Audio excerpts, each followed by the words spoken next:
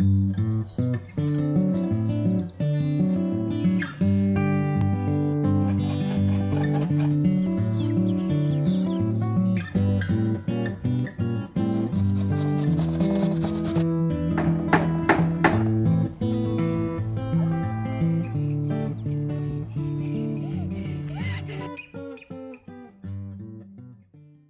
you're joining me in my kitchen today. I'm processing, uh, well, I've already done two flats of peaches, and I'm working on the last three today. I'm making chutney and salsa, but what I'm going to show you today is how to blanch peaches, because almost all peach recipes will call for you to get the skins off. Now, for years, I was following the instructions that most people have, and I was blanching my peaches whole. And I don't know if anyone has ever done that before, but what you end up with are these slimy little balls that you have to then try to cut in half and remove the pit. So one year I threw caution to the wind and I decided to slice my peaches first, which is what you see me doing now. And then on my stove I have a pot of just regular boiling water and what I'll do is I'll put my peaches in the water anywhere from 30 seconds to two minutes. Now that's going to depend on the ripeness of your peaches, so make a judgment call. My peaches today are very, very ripe. I've had them for a few days now. Um, and they'll probably need 30 seconds max. So I'll show you how to do that process. You'll need a pot of boiling water on the go, which is right over there.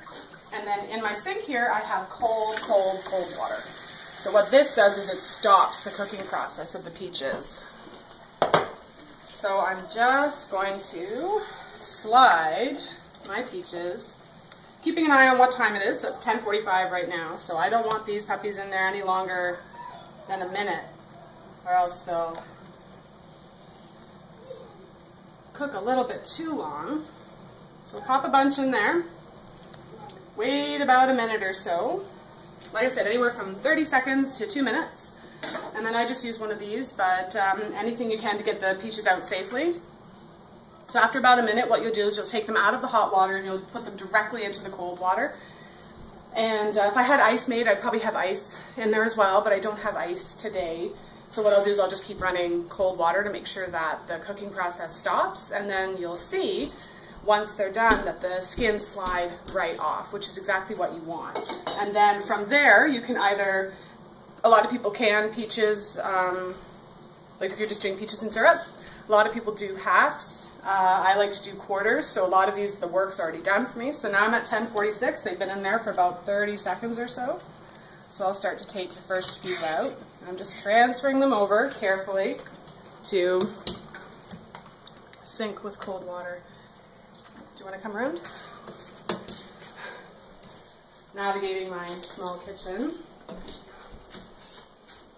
You can already see some of the peels are starting. My peaches are quite, quite ripe. A little too ripe. Um, thankfully, I did all my slices and everything on Friday. So today is Sunday, and I'm working on, as I said, the chutney and the salsa today. So once those are nice and cool in the bath, see, look at that just slid right off. And from there, I'll slice them and do whatever I need, but you can see. And you get a lot less wastage this way, so while your peaches are um, a bit cooked through this process, um, most recipes, I mean, if you're, even if you're doing a water bath um, peach and syrup, they're going to be in the water bath for 20 minutes, so your peaches are going to cook regardless. But you have a lot less wastage than trying to take the peels off of your peaches with a knife while they're uh, still raw. So that is my big tip for blanching and removing the skins is to slice your peaches first. Because they're quite, I don't know if you can get zoom in, but they're quite slimy, as you can see. So you can imagine if this was a whole peach trying to work with this without denting it and bruising it and everything to, to get the pit out. So slice them first, Blanch them anywhere from 30 seconds to 2 minutes, depending on how ripe your peach is. Immediately dunk in cold water, and the skins should slip right off. And from there, you can process them with whatever recipe you're using. Thanks for joining me.